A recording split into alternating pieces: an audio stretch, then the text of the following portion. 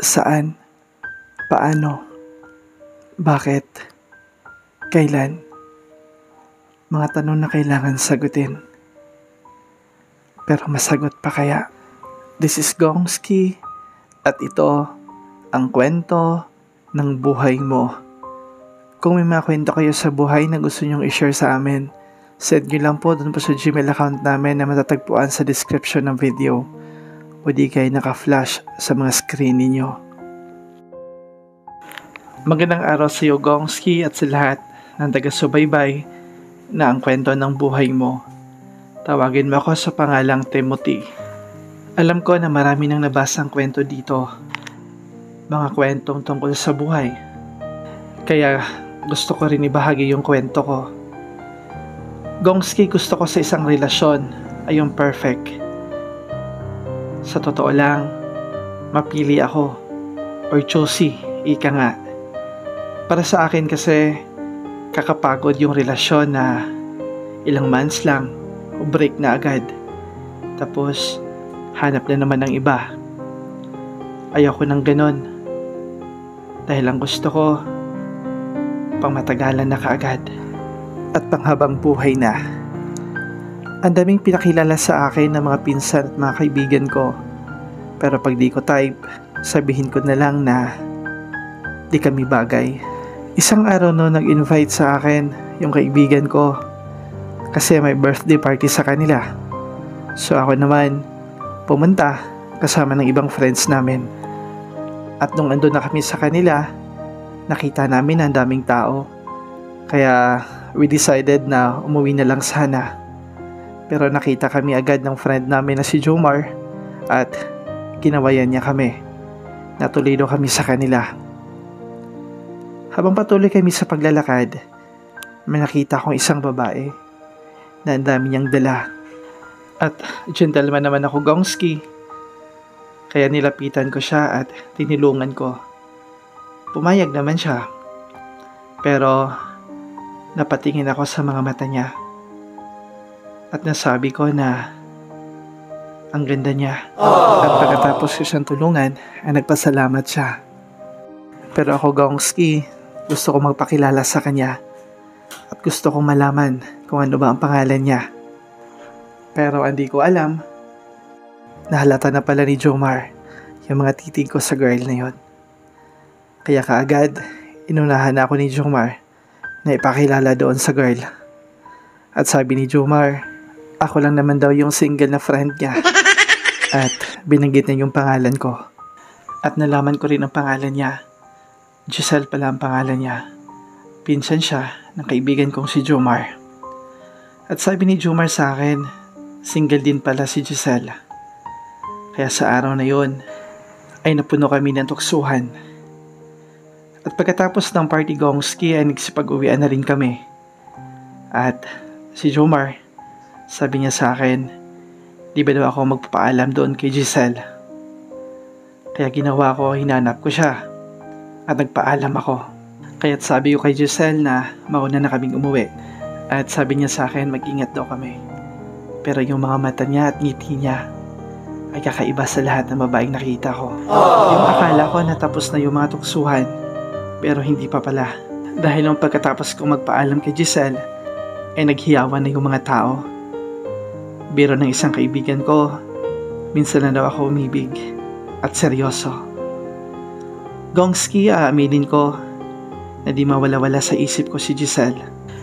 Dahil hindi ko nakuha yung phone number niya, eh kay Jomar ko na lang hiningi, pati yung Facebook account nito. Pagkatapos nun, ay nag-add friend ako sa kanya. At masaya ako kasi inaccept niya naman.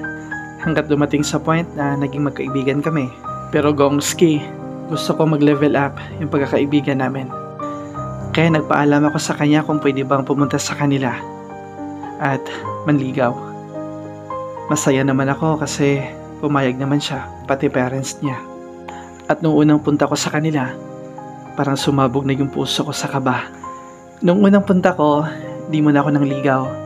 Usap-usap muna at sabi ko, babalik ako kinabukasan. At nung pangalawang balik ko na, ay nagtapat na ako sa kanya sabi ko, Noong una pa lang kitang nakita, alam ko na gusto na kita. Pangako ko na kapag naging tayo, promise ko sa'yo, ikaw lang at wala ng iba. Hindi kita papaiyakin. Pangako yan. Nahalata ko, Gongski, na parang ang lakas ng loob ko. Ang lakas ng loob ko na sabihin sa kanya yung nararamdaman ko. Kasi ganito talaga ako pag nagmahal. At di naman ako nabigo. Dahil yung totoo, mahal din pala niya ako. Naging masaya yung relasyon namin ni Giselle Gongski. At alam ko na gusto rin ako ng parents niya, yung family niya, para sa anak nila. Gongski, nung nag 5 years na yung relasyon namin, nagpaalam ako kay Giselle na magpunta ako ng abroad para paghandaan yung future naming dalawa. Alam ko na mahirap ang isang long distance relationship pero kailangan namin gawin yon para sa future namin. Nung araw ng pag-alis ko, sabi ko kay Giselle na pangako, babalik ako. At sa pagbalik ko, magpapakasal na tayo. Sabi naman ni Giselle sa akin, nahihintayin niya daw ako. At nangako siya na ako lang daw yung mamahalin niya. Alam ko mahirap kasi sa 5 years namin magkarelasyon, ay ngayon lang kami magkalayo ng ganito. Tiniis namin yung mga araw na na-miss namin yung isa't isa. Skype, ang tanging communication lang naming dalawa. At ako naman Gongski, pinapadalhan ko siya ng pera. Para may pambili kung ano man ang gusto niya. Dahil ganyan ko siya kamahal. Sabi ng mga kasamahan ko, hindi daw mag-work yung isang long distance relationship. Pero sabi ko, sa amin mag-work yan.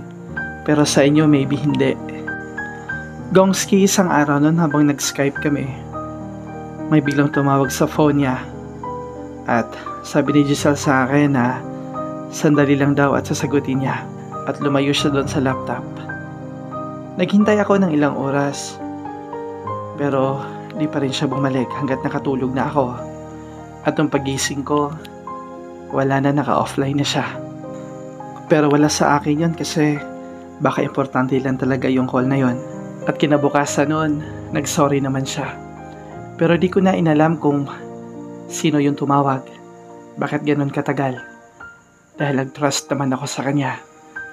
Gongski, okay lang sana. Isa, dalawa, tatlo, yung ganung mga pangyayari. Pero mukhang kakaiba na. Parang may mali na. Kaya tinanong ko siya kung may problema ba. May problema ba sa aming dalawa? Pero sabi niya sa akin, wala naman daw. Sadyang busy lang talaga kasi dahil yung pera pala na pinadala ko sa kanya ay pinuhunan niya para magkaroon din siya ng konting negosyo. At dahil love ko siya, iniintindi ko na lang at sinusuportahan ko siya.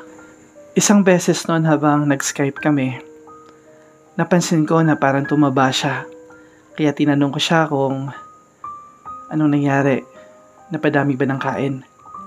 At sabi niya sa akin, ang sarap daw kasing kumain kaya tumaba siya ng konti. So ako naman sabi ko na kahit tumaba ka, mahal pa rin kita. Basta wag mo lang pabayaan yung health mo. Dahil wala ako dyan para alagaan ka. Gongski, nung malapit na matapos yung kontrata ko, ay masaya na ako kasi uuwi na at magpapakasal kami. Pero plano ko, babalik din ako ng abroad para makapag-ipon ulit ng pera para pang negosyo. At nung dumating na yung araw, Gongski, na uuwi na ako ng Pinas, ay nilihim ko yon dahil gusto ko ma-surprise siya. Dahil ang akala niya, Gongski, may 6 months pa bago matapos yung kontrata ko. At nung pagdating ko sa amin, Gongski, nagpahinga ako saglit at kailangan ko pa mag-travel ng mga 7 hours para makarating sa bahay nila Giselle. Pati mga friend ko di nila alam na umuwi na ako. Tangi yung family ko lang. At sabi ko na wag nilang i-text si Giselle kasi gusto kong i-surprise ito. At nung papalapit na ako sa kanila, ay napaka-excited ko na. Dala yung pasalubong at yung flowers ko para sa kanya. At nung ando na ako sa kanila, ay nakita ako ng kapatid niya at tinanong ko agad kung andyan ba ate niya. At instruction ko sa kanya na huwag niyang sabihin na andito ako. Ang sabihin niya lang is may naghahanap. Gongski, ang saya ko. Ang saya ko kasi nakauwi na ako at matutupad na yung pangarap ko para sa amin. At nung paglabas ni Giselle, ay sobrang tuwa ko. Pero Gongski, ang lahat ng saya ay napalitan ng lungkot at disappointment. At ang unang tanong ko, buntis ka ba? At ang sagot niya sa akin, sorry kasi niloko kita. Ang tanong ko, paano mo nagawa sa akin? Bakit nangyari to? Kailan lang to? Niyakap niya ako at humingi siya ng tawad. Gongski, ang dami ko pang sinabi sa kanya. Pero wala na akong magagawa. Dahil buntis na siya. Ang pangarap ko, pangarap ko para sa aming dalawa, ay naglaho na. At bago ako umalis, sabi ko, sana masaya ka. Sana ingatan ka. At wag kang paluhain. At aalagaan ka niya. Dahil sa pangyayaring yon, ay bumalik ako ng abroad. At si Giselle naman ay patuloy na humingi ng sorry sa akin. Nabilitaan ko na lang Gongski na iniwan din pala siya ng lalaki na kabuntis sa kanya.